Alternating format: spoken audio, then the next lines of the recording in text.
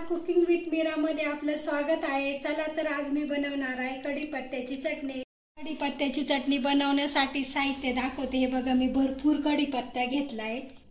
लाल तिखट शेंगदाणे दहा पंधरा लसणाच्या पाकळ्या जिरे आणि डाळ मीठ. चला आता आपण गॅसवर हे ना स कढई ठेवून सगळं साहित्य भाजून घेऊ. शेंगदाणे पण भाजून घेऊ.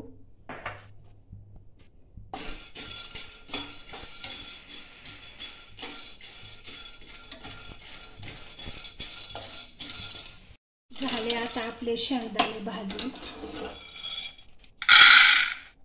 ची डाळ भाजून घेऊ.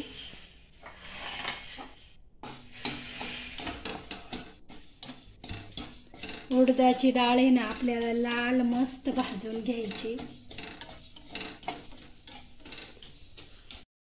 उडदाची डाळ भाजल्या जाते तर छान वास सुटला उडदाच्या डाळीचा.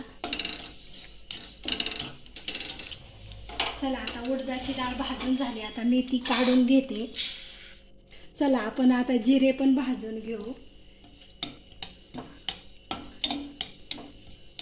आणि लसूण पण थोडासा जिऱ्यामध्येच टाकून भाजून घेऊ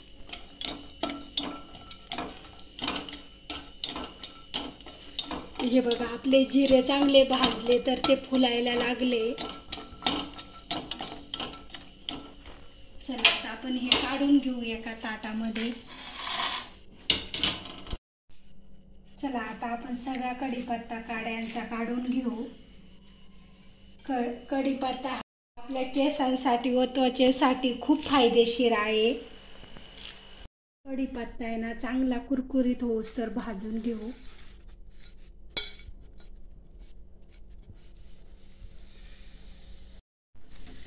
आपण कढीपत्ता धुतलेला आहे ना त्याच्यामुळे सगळं पाणी आपल्याला जळूस तर कढीपत्ता चांगला भाजून घ्यायचा. आता आपला कढीपत्ता तो पण आपण एका प्लेटमध्ये काढून घेऊ.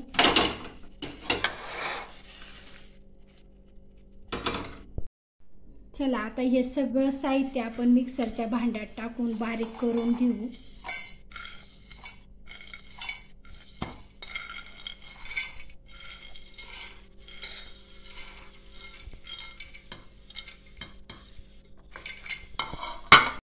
आपण हे साहित्य बारीक केलेलं ते एका प्लेटमध्ये काढून घेऊ.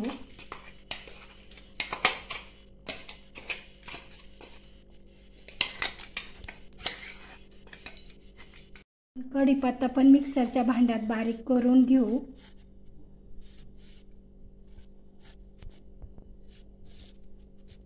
आपला सगळा कढीपत्ता एका भांड्यात नाही बसणार आपण दोन वेळा बारीक करून घेऊ.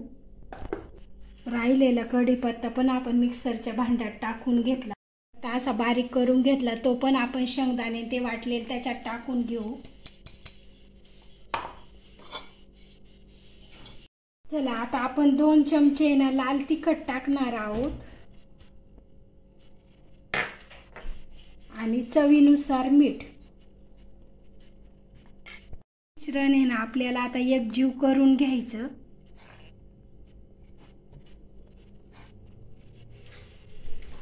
हे बघा झालं सगळं साहित्य मिक्स करून. बघा आपली कढीपत्त्याची चटणी मिक्स केल्यामुळं किती छान कलर पण आला आणि आपल्या केसांसाठी त्वचेसाठी कढीपत्ता तर आवश्यकच आहे.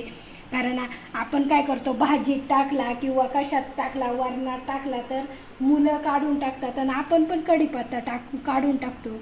त्याच्यामुळं काय होतं आपल्या पोटात कढीपत्ता जातच नाही. असं आपण चटणी करून खाल्ली तर चटणी ही कढीपत्ता आपल्या शरीरासाठी आवश्यकच. आहे चला तर झाली माझी कढीपत्त्याची चटणी. करून तुम्हाला माझ्या कढीपत्त्या चटणीची रेसिपी कशी वाटली? लाईक करा शेअर करा आणि सबस्क्राईब करा.